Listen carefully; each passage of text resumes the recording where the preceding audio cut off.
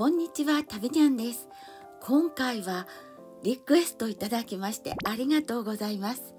新大久保のわらびさんに行ってきました。撮影許可いただきましてありがとうございます。スタッフの方も笑顔が素敵でとっても感じのいいお店です。新大久保っていつ行っても大混雑。新大久保が空いてる時っていつなんでしょうかね。わらびさんありました。地下1階。くるみさんの同じビルに入っているんです。11時40分頃到着したら5名の方が待っていました。わらが積んであります。わら焼肉と一品料理のセット。ランチの時間は11時から15時まで。ディナーは15時1分から23時までです。おすすめのサムギョプサルとチーズのキンパを頼みました。こちらは食べ放題のナムルサラダスイーツのコーナーなんです。トックカルビーや韓国式のフライドチキンハニーバターポテト美味しそうだなって思いました。すごい量のキムチやナムルこんなにいっぱいあるんです。全部食べ放題でカレーやわかめスープそして白いご飯も熱々です。韓国式の豚足もありました。食べ放題の商品取りに行っていたらもうすでにキンパと葉物野菜やタレが用意されていました。スタッフの方が藁で焼いたサムギョプサルを持ってきてくれて手際よくカットしてくれています。サムギョプサルは藁の強火で両面炙ってあるので表面はいい焦げ目がついていて中はまだちょっと生っていう感じで旨味が凝縮されていてとっても美味しそうです。厚切りの極上サムギョプサルは1980円。チーズキンパはプラス200円で税込価格が2398円でした。こんな量で1人前なのって思うくらいたくさんの量があります。お店の滞在時間は2時間制です。若い方もいらっしゃいましたけれども年配の方も若い方と一緒にご家族で来ているっていう方もいらっしゃいました。チーズのキンパすごいでしょうこのチーズ。ビヨーンと伸びてくるんです。大感激。チーズキンパって本当にチーズしか入っていないんですね。この葉物野菜の量がすごいでしょう。これで1人前。すでにセットされているようで2人のお客様のところもこの同じ量の葉物野菜でした。サンチュとエゴマ人参なんかが盛り合わせてあって美味しそうに焼き上げたサムギョプサルに焼いたキムチをのせていただきます。キムチは3種類あってネギともやしと白菜のキムチ温かいのでこれが美味しいんですよね。つけていただくタレも4種類あって塩とナンプラーみたいなちょっとお醤油の薄いようなタレとあとは辛味噌そして緑のがわさびだったんです。ちょっとツンとくるわさびなんですけれども日本のわさびほど今ねこれ辛味噌をたっぷりと乗せているんです。この辛味噌そんなに辛くはなくてうまみがあってとっても美味しかったです。サムギョプサルにこれだけ野菜一緒に食べたら体にいいこと間違いなし。このしその葉っぱによく似た形の葉っぱはエゴマの葉っぱなんですって。エゴマの葉っぱは大葉などと同じシソ科の一種なんだそうです。原産地は東南アジアで夏に旬を迎えるザムギョプサルやエゴマの葉の醤油漬けなどといった韓国料理によく使われているんです。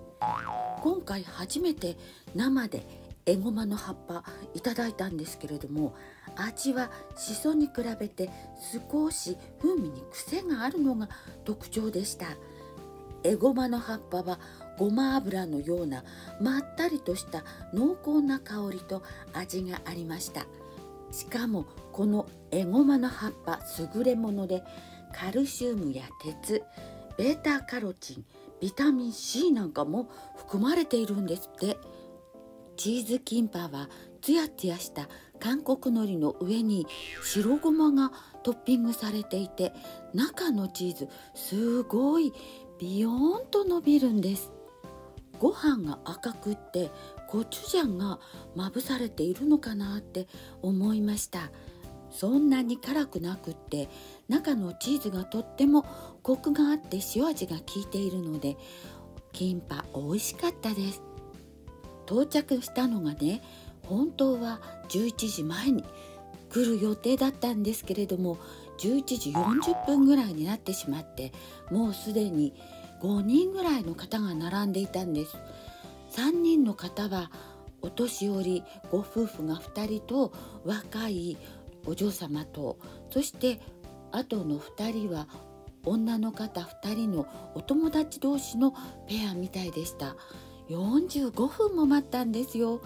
白髪ネギにキムチソースがかけてあるみたいでとっても辛そうな色でしょ？それがそんなに辛くなくってこれにわさびをつけていただきました。わさびがアボカドのような色に見えたのでたくさんつけていただいたんですけれどもこのわさびそんなに日本のわさびほど辛くなくってツンと鼻に抜けるほどの辛みはあるものの美味しいうまみのあるわさびでした。冷えてしまったのにまだまだこんなにチーズ伸びるんです。サンチュに肉を巻いて食べるのが大好きなので今回こんなにいっぱい葉物野菜持ってきていただいたので葉物野菜たくさん使っております。パリパリしていて新鮮でこれ最初の方は塩をつけて塩味がね少し効いて美味しいです。次はナンプラーをつけてナンプラーなのかよくわからないんですけれどもお醤油の薄い感じの味でした。1人1品の注文がマストなんですけれどもこの量だったら2人でも十分な感じがします。サムギョプサルもこんなたくさんの量があって1人で食べるには十分すぎる量でした。キムチもねすごいたくさん量があるのでもうナムルとか野菜サラダとかいらないぐらいたくさんの野菜をいただくことができました。韓国料理って圧倒的に野菜が多いですよね。それに発酵食品がいっぱいあります。特にキムチが有名なんですけれどもその他にコチュジャンや韓国味噌も発酵食品でマッコリも乳酸を発酵させて作っているんですって。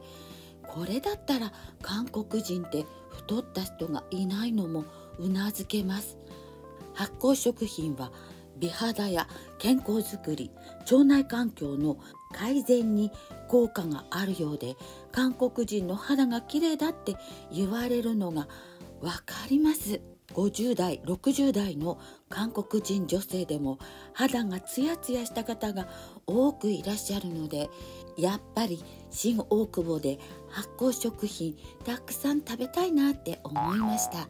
ただですねランチは予約ができないんです。私が伺った11時40分の時には45分も待って椅子は3つしかないので4人目5人目それ以上の方は立って並ばないといけないんです。もう心が折れそうになったんですけれどもやっぱり45分並んだ甲斐がありました。私が出てくる2時ぐらいの時にはもう列ができていなかったので時間によって並ばなくてもいい時間帯があるような気がします。キンパは細かったんですけれども結構なボリュームでした。冷めてからもチーズコクがあって美味しい。このごまのお菓子って書いてあったんですけれども白ごまと黒ごまがすごいギュッと詰まっていて甘くって美味しかったんです。このフルーツヨーグルトりんごやバナナに混ざってきゅうりが入っているんです。きゅうりが入っているフルーツヨーグルト食べたの初めて。なんかきゅうりのキューちゃんみたいなサクサクパリパリした食感できゅうりやパイナップルりんごバナナいろんな食感が楽しめて楽しい。ヨーグルトはねさらっとした薄い濃度のほんのりと甘みがあって爽やかで美味しいフルーツヨーグルトでした。韓国式フライドポテト。飴がまぶしてあって黒ごまがトッピングされているんです。これさつまいもだったらまるで大学芋だなって思いました。じゃがいも版大学芋っていう感じでこれも甘くて美味しかったです。韓国式フライドチキン。このフライドチキンにジャムやチーズとかをトッピングしていただくようで私も粉チーズのようなものをトッピングしてみました。これもまた美味しい。やっぱりチーズのコクが加わるので普通の鶏の唐揚げがちょっと変わった味になります。大好きなカレーも最後に取ってきました。このカレーはねスパイシーなんですけれどもそんなに辛みはなかったんです。中には牛肉が入っているようでした。ホロホロに煮込まれた牛肉が入っているみたいでこのカレーもとっても美味しかったです。カレーのルー多めでご飯少なめでよそってきたので大満足です。こちらのお店ランチは現金のみなんですって。